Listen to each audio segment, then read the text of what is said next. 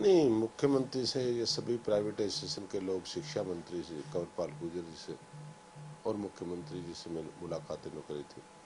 और जो उन्होंने कहा था भी, स्कूलों की जो बस खड़ी हैं, और जो आज स्कूल ही बंद है, स्कूल बसें भी खड़ी हैं।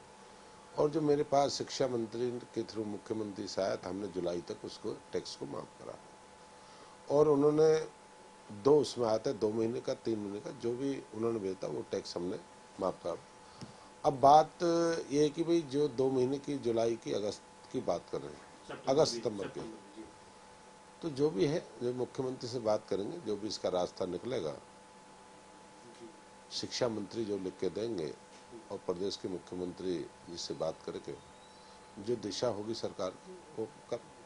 वसूला नहीं गया जिसका ऑपरेट नहीं कर रहा उन्हें दिया भी नहीं है। अगर कोई सिस्टम में कमी है तो उसको ठीक करके हम कर देंगे। और ये तो है कि भाई जुलाई तक हमने करा है। कोई सिस्टम में कमी उसको पूरा कर लेंगे। और तभी अपना जब तक सिस्टम ठीक हो, कोई इस तरह का वसूल गया बता एक एक प्रमाण दे हरियाणा में। एक भी बिना उसके हमने कोई नहीं करा। स्कूल वाले अपने शिक्षा मंत्री के थ्रू और प्रदेश के मुख्यमंत्री मनोहर लाल जी से करके अपना दें, अपनी रखें परेशानी को। जो मेरे पास आएगा, मैं उसमें ज़रूर बैठ के मुख्यमंत्री से बात करूँगा। अभी प्रदेश के जो हरियाणा रोडवेज़ है, अभी पाँच स्टेटों में अभी बस हमारी चल नहीं पा रही। बाकी हमारी बस प्रदेश में चली हुई दिल्ली है दिल्ली है, जम्मू कश्मीर है, हिमाचल है, उत्तराखंड है।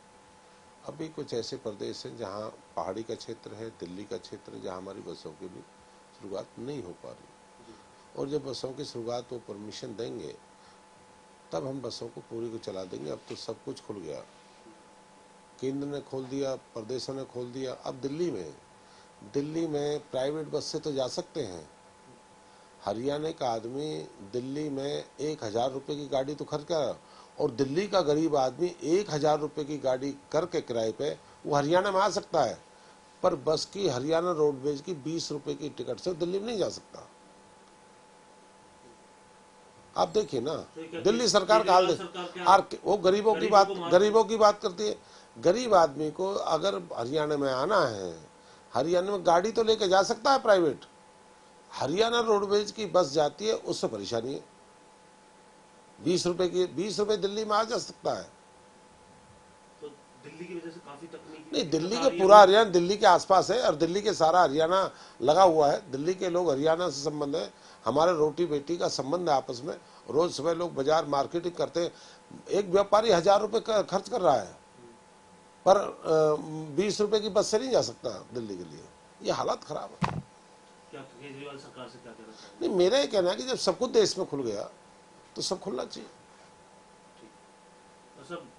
कोविड में हमने देखा कि सभी महकमों के अंदर बड़ा घाटा गया आपके माइनिंग डिपार्टमेंट की अगर बात करते हैं तो क्या स्टेटस रहा है नहीं हमारे माइनिंग के सभी अधिकारी सभी अफसरों ने जो माइनिंग का जो पिछले 2019-20 में तो हमको 333 करोड़ रुपया हमको मिला।